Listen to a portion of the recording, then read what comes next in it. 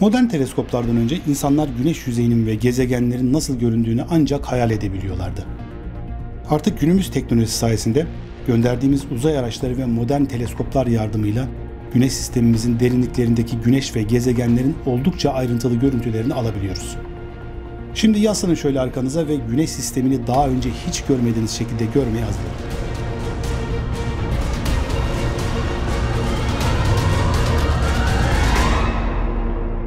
Saniyede 1 trilyon nükleer bombanın enerjisiyle yanan güneş, güneş sistemimizdeki en büyük kütledir ve toplam kütlenin %99.86'sını oluşturur.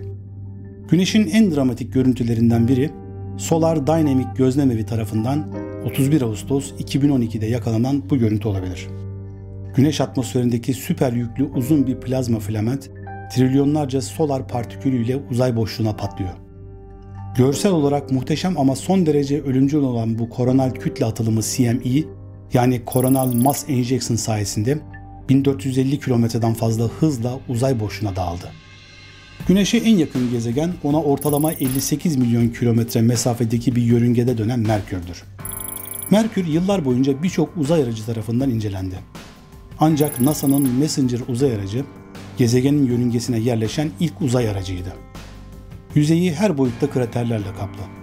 270 kilometre çapındaki Vanik krateri gibi devasa asteroid çarpma alanları var. Ve dış kenarı yaklaşık 2 kilometre yüksekliğindeki dağlarla çevrili, çapı 1540 kilometre olan kalori havzasını görüyorsunuz. Bunlar spektral yüzey ölçümlerinden alınan görüntüler. Mart 2011'den beri Merkür'ün yörüngesinde dönen Messenger, yakıtı bittiği için ölümü kaçınılmazdı. 29 Nisan 2015'te gezegenin yüzeyine kasıtlı olarak çarptırılmadan önce Merkür'ün 200 binden fazla görüntüsünü yakaladı. Messenger çarpışmadan hemen önce Merkür'ün şimdiye kadar çekilmiş en yüksek çözünürlüklü fotoğrafları olan bu son görüntüsünü gönderdi. Merkür'ün Güneş'e en yakın olduğu için en sıcak gezegen olduğunu düşünebilirsiniz. Ama bir sonraki gezegenimiz aslında Güneş sistemimizdeki en sıcak gezegendir. Güneş sistemimizin ikinci gezegeni Venüs, Dünyanın en yakın komşusudur. Venüs çoğunlukla karbondioksit, kükürt dioksit ve azot gazlarından oluşan kalın bir atmosfere sahiptir. Bu da Güneş'in ısısını hapsederek onu cehennem gibi bir dünya haline getiriyor. Venera, Sovyetler Birliği tarafından Venüs'ü keşfetmek için inşa edilmiş bir sondaydı. Venüs'ün yüzeyine başarıyla inerek renkli görüntüler aktardı. Venüs çok sıcak bir dünya. Yüzey sıcaklığı 470 santigrata varabilir. Sonda sadece 30 dakika dayanacak şekilde tasarlanmıştı. Ancak bir tank gibi inşa edilmiş olmalı ki 1 Mart 1982'de indikten sonra 2 saatten fazla veri ve görüntü aktarmaya devam etti. NASA daha sonra Magellan uzay aracını 1990'da tüm yüzeyi görüntülemek ve haritalamak için Venüs'e gönderdi. Gezegen yüzeyinin volkanizma, tektonik plak hareketleri ve çalkantılı yüzey rüzgarlarını belirledi. Her biri 7700 kilometre uzunluğunda olmak üzere kilometrelerce lav kanallarını ve 5 kilometre yüksekliğindeki Mat Mons volkanının görüntülerini dünyaya gönderdi. Tüm yüzeyi haritalamayı bitirdikten sonra Magellan, gezegen yüzeyine çarptırılarak görevine son verildi. Güneş sistemimizin üçüncü gezegeni yaşam olduğunu bildiğimiz tek yer olan dünyamız. Gezegenimizin bugüne kadar birçok görüntüsü çekildi. Ancak modern uydu fotoğrafları muhtemelen en nefes kesici olanlarıdır. Şu an gördüğünüz NASA'dan gelen bu görüntü gibi. Bu inanılmaz gerçek görüntü NASA'nın orta çözünürlüklü görüntüleme uydusu Spectro Radiometer tarafından dünyanın 35 bin kilometre yukarısından çekildi. Yörüngeden gelen bu görüntüde Kuzey Amerika ve Güney Amerika'yı görüyoruz. Ve arka planda da ayımız. 14 Aralık 2020'de NASA tam güneş tutulması yakaladı. Evet bunlar muhteşem görüntüler. Ama işin ilginç olanı Mart 2011'de Elektro adlı bir Rus uydusu NASA görüntülerine rakip dünyanın inanılmaz ayrıntılı görüntülerini çekti. Birçok kişi bu görüntülerin çok daha doğru olduklarını ve farklı şeyler gösterdiklerini iddia etti. Ancak NASA doğru olmadıklarını, kendi görüntülerinin daha doğru olduğu açıklamasını yaptı. Emin değilim. Karar sizin. Sizce hangisi en iyi görüntüler? Bu arada Messenger uzay aracını hatırlıyorsunuz değil mi? Merkür'e doğru hızla gitmeden önce dünyanın ve ayın bu fotoğrafını çekerek bize bir kartpostal gönderdi. Mars her zaman insanlar tarafından en büyük ilgiyi gördü. Güneş sistemimizin dördüncü gezegeni Kızıl Mars açık ara en çok incelenen gezegen. Viking yörünge aracı 1978'de Mars'ın çarpıcı anlarını çekti. Wallis Marinus'ın bu fotoğrafı gibi. Ve Viking 2 yörünge aracı Güney Kutup düzlüklerini ve kutup buzullarını gösteren bu görüntüyü gönderdi. 2013 yılında Mars Avrupa Uzay Ajansı'nın Mars Ekspresi çektiği çeşitli görüntülerden oluşturulmuş bu filmde görüldüğü gibi Wallis Marines'ın en kuzeyi olan Habis Cosmo'nun son derece ayrıntılı görüntülerini yakaladı. Ayrıca o zamandan beri Mars roverları zaten gezegen yüzeyini inceleyip ayrıntılı fotoğraflarını çekiyorlar. Mars Curiosity roverından alınan bu selfie'de dahil olmak üzere bunlar yabancı bir dünyanın yüzeyinden gelen en inanılmaz görüntülerdi. Bunlar Curiosity'nin gönderdiği Mars'ın yüzden fazla görüntüsünden oluşan 8 milyar piksellik panoramik fotoğraflar. Zaten son olarak da geçen ay gönderilen Perseverance rover'ını bilirsiniz. Videosunu da çekmiştim. Dileyen yukarıdaki karta tıklayarak izleyebilir. Çünkü şu zamana kadar Mars'a gönderilmiş en gelişmiş rover olan Perseverance'ın gönderdiği görüntüler hepsinden de öte dudak uçuklatacak cinsten. Güneş sistemimizdeki en büyük gezegen. Gaz devi Jüpiter. 350 yıldır gezegende bulunan şiddetli fırtınası dev büyük kırmızı lekesiyle belki de tüm gezegenlerin en eşsiz görüntüsüne sahip. Ve o kadar büyük ki tüm dünyayı yutabilir.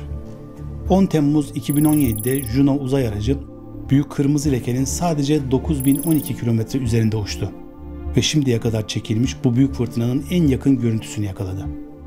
Biraz daha uzaktan çekilmiş bu fotoğraf eğer Jüpiter'in yörüngesinde olsaydık göreceğimiz daha gerçekçi renkteki bir görüntü olurdu. Ancak Juno dünyadan görülemeyen kutup bölgelerinin inanılmaz görüntülerini de yakaladı. Ama gök bilimcilerini asıl şaşırtan şey Jüpiter'in kuzey kutbunun merkezinde dönen bu sekizli fırtına. Sanki keskin bir geometrik düzende yerleştirilmiş gibiler. Jüpiter'in fırtınaları normal bildiğimiz hava koşulları gibi istikrarsız değiller. Adeta gezegenin demirbaşları gibi istikrarlı bir şekilde yüzyıllardır sürüyor. Ama daha inanılmaz fotoğraflar gelecekti. Juno kameralarından gelen veriler kullanılarak bu görüntü oluşturuldu. Gerçekten nefes kesici. Ve 27 Haziran 2019. Hubble Uzay Teleskobu araştırmacıların küçülmekte olduğunu söylediği gezegenin alameti farikası büyük kırmızı noktayı yakaladı. Güneş sistemindeki tartışmasız en güzel gök cismi olan yarışmacısı Satürn'ü ikonik halkalarıyla yenmek zor. Muhtemelen Satürn'ün bugüne kadarki en iyi görüntüleri 21 Ekim 2002'de Cassini uzay aracından geldi. Uzay aracı bu fotoğrafı çektiğinde Satürn'den 285 milyon kilometre uzaktaydı. Ve 27 Mart 2004'te Satürn'ün yörüngesine yaklaştıkça bu muhteşem renkli görüntüleri çekti. İşte Satürn'den daha önce hiç görmediğiniz akıllara durgunluk veren görüntüsü. Bu Satürn'ün Güneş tarafından arkadan ışıklandırılmış görüntüsü. Bu arkadan alınan ışık sayesinde Cassini, Satürn'ün halka sistemini dünyadan görülmesi mümkün olmayan bir şekilde görüntüleyebildi. Ve sonuç muhteşem. Ama 2004'te Hubble teleskobunun da söyleyecekleri vardı. Bir auranın inanılmaz görüntülerini çekti. 2016 yılında Cassini uzay aracı Satürn'ün kuzey yarımküresinin görüntülerini gönderdi. Bunlar altıgen şeklinde girdap fırtınaları. Bilim insanları üzerinde çalışıyor ama hala bunun nasıl oluştuğundan emin değiller. 15 Eylül 2017'de uzay aracı gaz devine doğru son yaklaşımını yaptı ve bu son görüntüyü gönderdikten hemen sonra Satürn'ün atmosferine daldı ve bir meteor gibi yanarak varlığına son verdi. Yan gezegen olarak da bilinir başka büyük bir gezegenin ona çarpması sonucu yan yattığı düşünülüyor. Güneş sisteminin 7. gezegeni Uranüs'ün en iyi görüntülerinden birini Voyager 2 uzay aracı 1999'da gezegenin yakın bir geçişi esnasında çekti. Ve bu renkli görüntü 3 renkli filtre kullanılarak oluşturulmuş. 11-12 Temmuz 2004'te Keck teleskobu ile elde edilen buzlu soğuk Uranüs ve halkalarını gösteren bu görüntüsü yayınlandı. Gezegenin yüzeyinde gördüğünüz o parlak noktalar Auris. Kasım 2011'de Hubble, Uranüs'ün harika bir görüntüsünü yakaladı. Renklendirilmiş bu fotoğrafta Uranüs'ü kırmızı halkalı buz mavisi bir küre olarak görüyorsunuz. Ve 2017'de Hubble teleskobunun yakaladığı Uranüs'ün başka bir görüntüsü. Neptün Güneş sistemimizin 8. gezegeni ve Güneş'ten en uzak olan. Neptün'e en yakın olan tek uzay aracı Voyager 2. Onun tarafından çekilen bu görüntüde gezegeni kasıp kavuran dev bir fırtınanın şiddetlendiği görülüyor. Neptün'ün karanlık devasa lekesi. Voyager 2 görevini tamamlayıp yıldızlar arası uzaya doğru gitmeden önce gezegene en yakın geçişini yaptı ve Neptün'ün atmosferindeki parlak bulut çizgilerini gösteren bu görüntüyü yakaladı. Aralık 2020'de Hubble teleskobu Neptün'ün yeni bir görüntüsünü çekti. Bu görüntüde devasa fırtınayı büyük karanlık bir leke şeklinde yakalamış. Çünkü Neptün bizden gerçekten çok uzakta. Şimdiye kadar Neptün'ün dünyadan elde edilen en iyi görüntüleri çok birimli stroskopi keşif cihazının özel bir dar alan optik modu kullanılarak European Southern Observatory yani Avrupa Güney Gözlem Evi'nin çok büyük bir teleskopu tarafından elde edildi. Birçoğumuz Plüton'un gerçek bir gezegen olup olmadığını tartıştık. Ama birkaç fotoğraf görmek için buradayız. Plüton'un şimdiye kadar gördüğümüz en net görüntülerinden biri 13 Temmuz 2015'te NASA'nın New Horizons uzay aracındaki uzun menzilli keşif görüntüleyicisi tarafından çekildi. Uzay aracı tarafından çekilen mavi, kırmızı ve kızıl ötesi görüntüler birleştirilerek bu görüntü bir araya getirilmiş. New Horizons uzay aracı gezegenin kristal netliğindeki görüntülerini almaya devam ediyor. Plüton'un ayrıca birleştirilmiş bu renkli görüntülerinde gördüğünüz üzere Charon adında bir ayı var. Ve bu çarpıcı resimde buzlu bir düzlükteki dağları görüyoruz. İnsanlık şimdiye kadar harika sonuçlar elde etti. Güneş sistemimizdeki gezegenlerin yepyeni, muhteşem görüntülerini elde ederek inanılmaz keşifler yaptı. Proxima Centauri'nin yakın görüntülerini almak için hala çok uzağız. Oradaki bir gezegen sistemine ulaşmak için göndereceğimiz bir uzay aracının oraya ulaşması binlerce yıl sürecektir. Ama dünyada bulunan güçlü bir lazerin itme gücüyle ince yelkenleri olan Breakthrough Starshot adında ince bir nano sonda yaratma planları var. Bu şekilde sondayı saatte 285 milyon 850 bin kilometre hıza ulaştırabileceklerini düşünüyorlar. Yani bu küçük sondalarla 20 ila 25 yıl içinde Proxima Centauri'ye ulaşabiliriz.